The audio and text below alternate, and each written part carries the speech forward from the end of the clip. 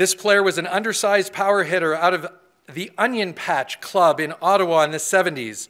Known for his dedication and hard work and respect for the game, he would go on to an eight year professional career in Japan, France, and Italy. Named to Team Canada in 1978, he would represent the nation until 85, competing in competitions worldwide and lending them, uh, leading them as, a, as the captain at the 1984 Olympic Games in Los Angeles. The fourth place finish is the highest finish of any Canadian team to date. He would follow his playing career with another 10 years as a player agent, helping the next generation further their careers. We would like to welcome Paul Gratton to the stage as part of the OVA Hall of Fame class of 2021. Well, thank you very much. It's, uh, it's an honor. It's really a privilege also to be among all of you. Uh, I would like to thank the OVA. I would like to, uh, to thank really, when, when we were driving here from Ottawa, I was discussing with my wife, Nissa, of course. I feel very proud of, of uh, for receiving this award, but what I feel mostly is gratitude. And I know I only have a short time, but there's so many people I need to, to thank. I don't know how I can squeeze that in into a, a two-minute talk, but from players and coaches that have motivated me, that, uh, that have mentored me, uh, motiv uh, motivated me, yes. And, uh, you know, I'm, I'm so lucky to have met so many people like that, managers and, uh, and trainers also that have guided me throughout my career, that gave me a life that uh, I could not dream of when I first you know, stepped on the volleyball club with Onion Patch. Um, by the way, I'm not responsible for that name. Before Onion Patch, it was Rolly's Menswear. And God knows where that came from. So thank you very much for the, uh, the OVA, not only for this award, but for all the work that you do around, around Ontario. Um, you are really a world-class uh, organization with all your programs, the way you develop athletes, uh, the way you train them, and promote the sport in all of our communities. I think that is, that is so special. And uh, lastly, of course, I can't forget my wife that has been in this journey with me for so long and supported me uh, through the 20 years or so that I've played. Thank you, and uh, well, thank you very much. A Varsity Blues members for five seasons, she would help the team to three Ontario championships and a place in the first ever Women's Canadian Intercollegiate Athletic Union Volleyball Championships in 1971. Say that 10 times fast.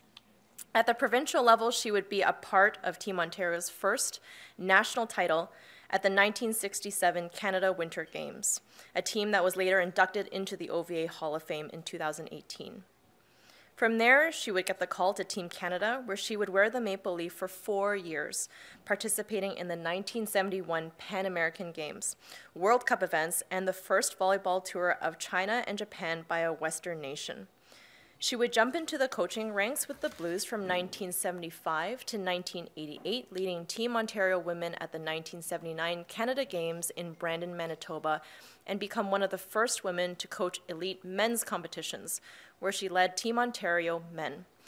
Please join me in welcoming Julie Andruchiw to the stage as an OVA Hall of Fame member in the class of 2021. Thank you very much. This is really, I really appreciate uh, this acknowledgement. And I think that uh, the OVA has done an extremely good job, and many people aren't aware of what they were doing in the 70s. Anton Ferlani, in particular, um, was really instrumental in, in uh, getting the OVA running and involving as many communities as he could. The Ukrainians, the Latvians, the Estonians, um, all had teams. And at that time, you didn't need a full club system. You could have one team, and that team could participate in the OVA. And his uh, Spiker magazine, which some of you may be aware of, um, came out quarterly, I think, and it was really, really informative. And it brought the volleyball community together. Um, and um, I would like to say that the Ukrainian youth team that I, um, that I joined as a junior, we, some years, a couple of years, we won the Ontario Juniors and we won the Ontario Seniors. And at that time, we were really lucky because the OVA paid the full fare to the Nationals. So we got to, some years, we got to go to both. And I know things have changed. However, it's a much broader organization and times have changed. Uh, But I'm really grateful. Thank you very much. A talented player out of High Park in Toronto. He competed with the Ukrainian Youth Association, winning the 1970 Ontario Championship, and with Parkdale Institute, where he won two OFSA gold medals in 1969 and 71. He was named to Team Ontario for the Canada Winter Games in Saskatoon in 71, bringing home the silver medal. He would join Team Canada in 1973 for NORCECA Championships in Tijuana, Mexico, where the team would win Canada's first medal, a bronze, in the competition. He would stay with Team Canada until 1975, when he would return to the Ukrainian Sports Association, where, as part of their men's open team, he would win multiple Ontario senior titles and a Canadian national title. He would go on to join the International Volleyball League for six seasons, playing with teams in LA, Albuquerque, Tucson, and Santa Barbara, winning two league titles and making three All Star appearances. Please welcome to the stage Peter Stefaniuk as a 2021 OVA Hall of Fame inductee. Thank you very much. Uh, I too am humbled by this um, nomination and induction into the Ontario Volleyball Hall of Fame. Um, when I first heard, I was a smile went from ear to ear, and I said, "Wow, all those years uh, have been acknowledged, and and I feel grateful." I'd like to thank all of the athletes and coaches who influenced me throughout my career, and uh, tell you as well that um, our 1975 national championship team went undefeated for the first time in Ontario, and, and then when ended up winning national championships. Uh, unfortunately, many of my teammates couldn't make it here tonight, so I'm the only one.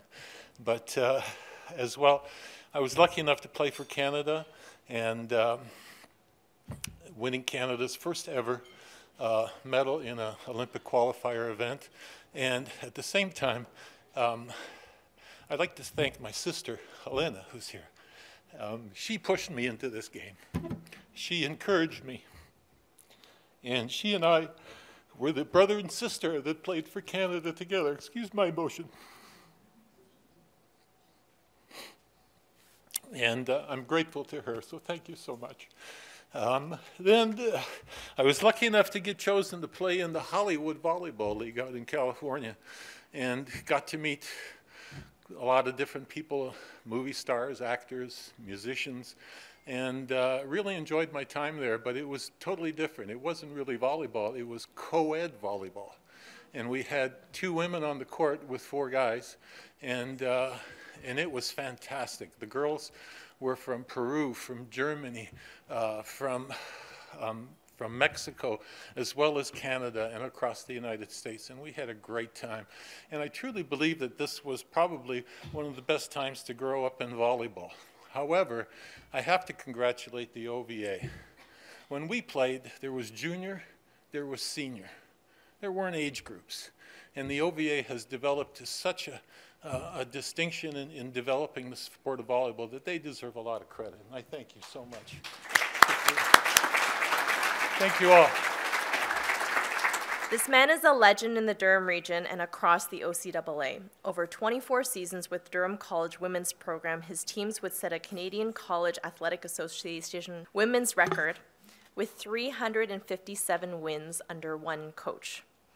From 1984 to 2007, the team would never miss the Ontario playoffs, earning 10 medals and winning four provincial titles. Someone confirm for me if that's five provincial titles a seven time OCAA Coach of the Year and the 1994 CCAA Coaching Excellence Award winner. The OVA Hall of Fame inductee in the coaching category for 2021 is Stan Marchut. Unfortunately, Stan passed away in 2012 before his call to the Hall of Fame, but here to accept his honor is his son, Michael Marchut. Thank you.